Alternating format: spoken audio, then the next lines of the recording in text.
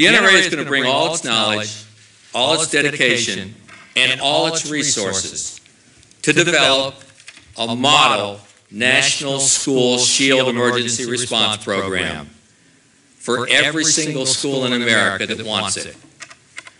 From armed security to building design and access control, to information technology to student and teacher training, this multifaceted program will be developed by the very best experts in the field. Former Congressman Asa Hutchinson will lead the effort as National Director of the National Model School Shield Program, with a budget provided by the NRA of whatever scope the task requires.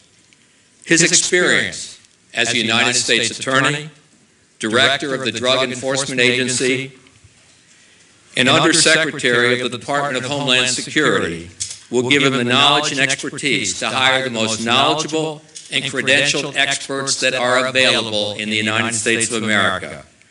To get this program up and running from the first day forward. If we truly cherish our kids more than our money, more than our celebrities,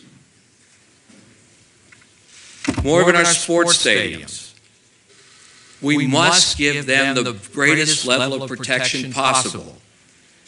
And that security is only available with properly trained, armed good guys.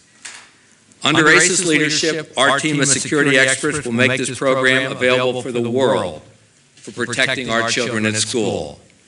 And we'll make that program available to every single school in America free of charge.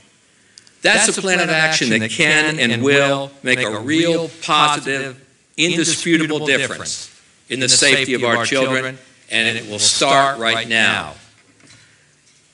There's going to be a lot of time for talk and debate later.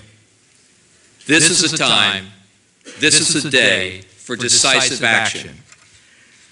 We can't wait for the next unspeakable crime to happen before we act. We can't lose precious time debating legislation that won't work. We mustn't allow politics or personal prejudice to divide us. We must act now. for the sake of every child in America. I call on every parent, I call on every teacher, I call on every school administrator, every law enforcement officer in this country to join with us and help create a national school shield safety program to protect our children with the only positive line of defense that's tested and proven to work.